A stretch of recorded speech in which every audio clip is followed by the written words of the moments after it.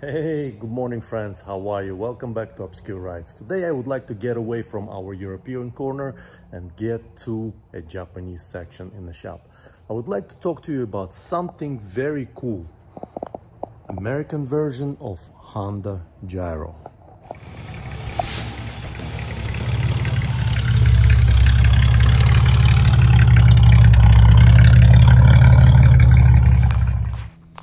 Let me introduce you to this real piece of machinery that puts the fun in funny. The 1986 Honda Gyro. Now, I know what you're thinking. A Honda Gyro, that sounds like something you use to make a salad with. But let me tell you, this little guy is more than just a kitchen gadget. The Honda Gyro is a three-wheeled scooter that looks like a cross between a motorbike and a bubble car, and riding it is an experience unlike any other. It is like being in your own personal amusement park ride. The gyro could lean into corners like a motorbike but with the stability of a car.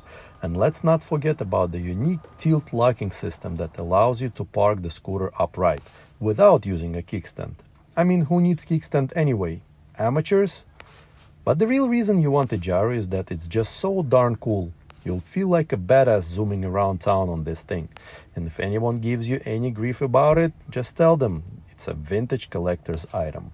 That's right, you're not just riding a scooter, you're preserving a piece of history. And if anyone questions you about it, just tell them that it is the right of choice for the coolest cats in town. So, boys and girls, if you want to ride in style and make a statement, then the 1986 Honda Gyro is the way to go.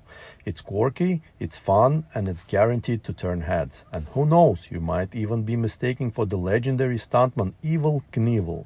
So today we'll try to resurrect this little gem. Uh, it's in a state of ran when parked and I know this for a fact because I am the one who parked it when it ran. But it's been sitting for a while and uh, the gasket under the carburetor uh, got kind of dry. So once you turn the fuel on, it start leaking all over the engine. All right, let's take this baby to the back and get a closer look at her. There were total of seven different gyro versions produced since 1981 all the way through 2008. That's when the name gyro was dropped because the 49cc two-stroke 3.7 horsepower engine used on all of these for years was swapped for a four-stroke. Alright people, enough of WikiLeaks. Let's get to work. We're gonna remove the airbox, we're gonna remove the choke and the throttle pin and get to carb. Now to do this exercise all you need between her legs is the Phillips screwdriver and a 10 mil socket. Now, once the carb is out, I'm gonna give you a money saving tip. Drain your fuel back to the tank. With prices like this, right now, it's probably about a dollar worth.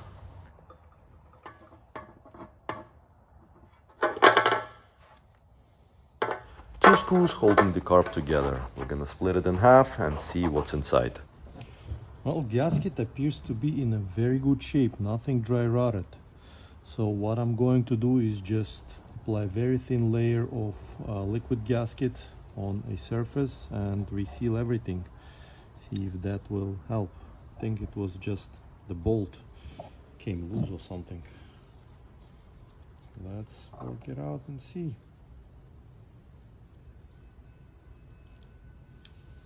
Oh, for the Pete's sake.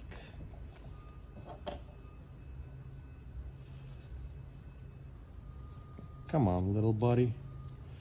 What is going on over here? All right, here we go.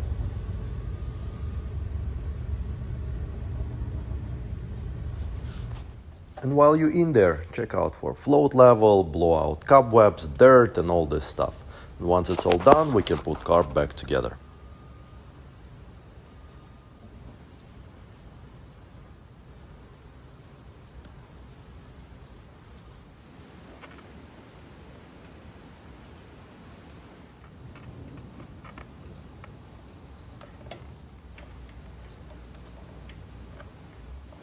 Make sure you don't drop nothing in the engine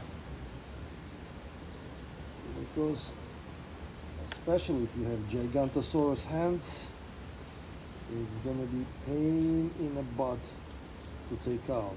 And for the life of me I cannot find a magnet that I placed somewhere so I gotta use next best one. Next best tool available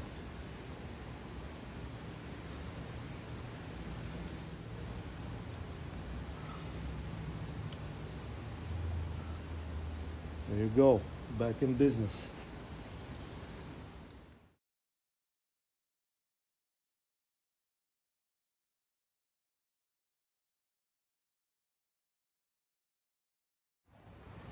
All right she's back together. Uh, i'll let her dry up for an hour or so and then we'll start her up see how she runs. Let's see what we got